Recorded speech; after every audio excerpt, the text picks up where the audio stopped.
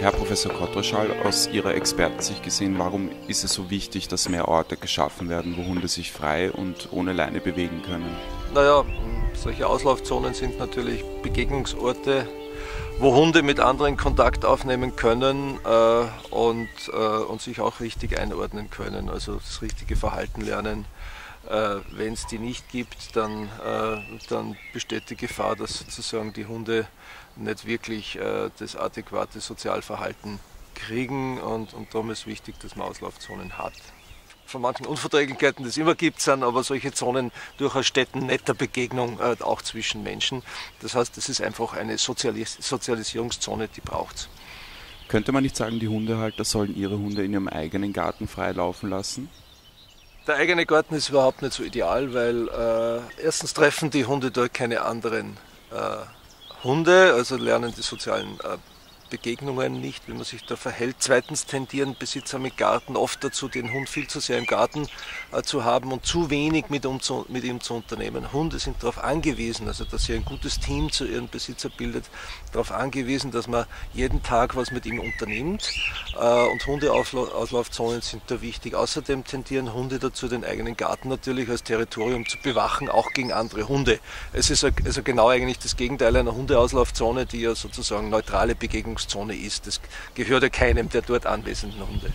Kann man sagen, dass die Hunde das für ihre Wesensentwicklung auch brauchen, solche Auslaufzonen? Sicher. Äh, äh, vernünftige Besitzer gehen mit ihren Hunden sowieso äh, sozusagen auch in Welpenspielgruppen. Aber später dann, äh, besonders wenn zu viel Leinen- und Maulkorbzwang ist, äh, vereinzeln dann die Hunde, sind dann nur mehr mit ihren Besitzern zusammen und tendieren dazu etwas seltsam zu werden. Äh, und da, dagegen hilft eben die, die Hundeauslaufzone, wo sie auch andere Hunde zum Spielen finden. Viele Hunde spielen sehr gerne und die brauchen das regelmäßig. Und ist es nicht gefährlich, wenn Hunde ohne Leine und Maulkorb freilaufen? Gibt es da nicht ständig Raufereien? Im Regelfall überhaupt nicht. Also wenn man äh, die Auslaufzonen, die es zum Beispiel in Wien gibt, äh, so sich ansieht, dann sieht man ganz, ganz selten irgendeine aggressive Geschichte oder, mein Gott, Sie brauchen ja nur auf eine große Hundeausstellung gehen, da sind 5000 Hunde auf einem Platz und was sehen Sie? Nichts. Also die Hunde können das gut einschätzen, die können sich darauf einstellen, äh, die Gefahr ist minimal und wenn, wenn ein Hund dabei sein sollte, der dazu neigt, die anderen zu überfallen, dann weiß das der Besitzer und da muss er Vorkehrungen treffen. Sie halten es also für eine gute Idee, dass man Platz für Hunde schafft, wo sie sich frei bewegen können. Ja, natürlich. Äh, Hundeauslaufzonen, Platz für Hunde, äh, überhaupt Zonen, wo, äh, wo Besitzer mit Hunden ohne Leine auch äh, was tun können, äh, sind ja auch sind nicht nur gut für Hunde und Besitzer, sind ja auch Zeichen an die Gesellschaft, dass äh, auch Hunde und ihre Besitzer Rechte haben.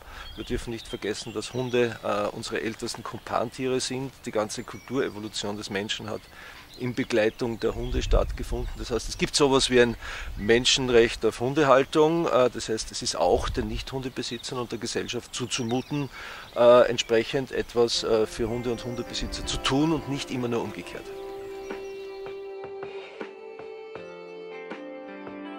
Alles Zusammengenommen kann man die, diese Initiative zur Schaffung für mehr Raum für die Hunde, mehr, mehr Hundeauslaufzonen nur unterstützen.